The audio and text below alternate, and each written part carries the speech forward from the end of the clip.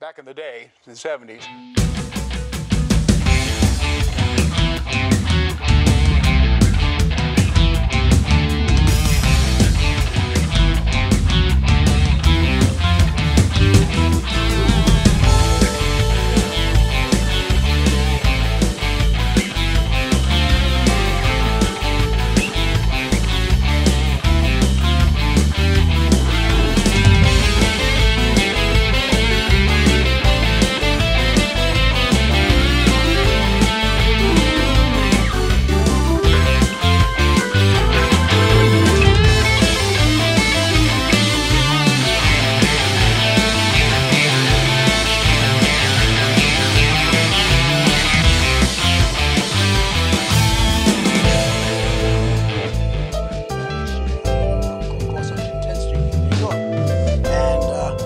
Got to LA and I was kind of looking for work and all that. And I got a call from from uh, my agents that Barry Shear had recommended me to Spelling and Goldberg for this called Starsky and Hutch.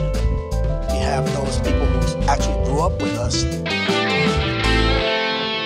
See people from TV history in one place, and for us to get together after all these years for that kind of reunion, it's pretty cool.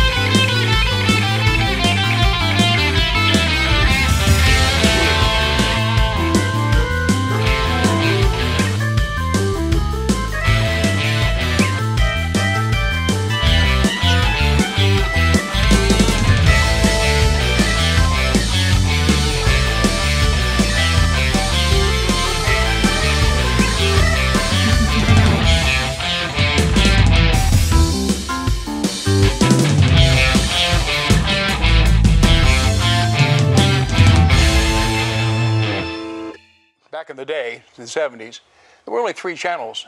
And so a show like Starsky and Hutch became part of the family, just as if like your show would be, or some of the reality stuff that's out there, which I, anyway.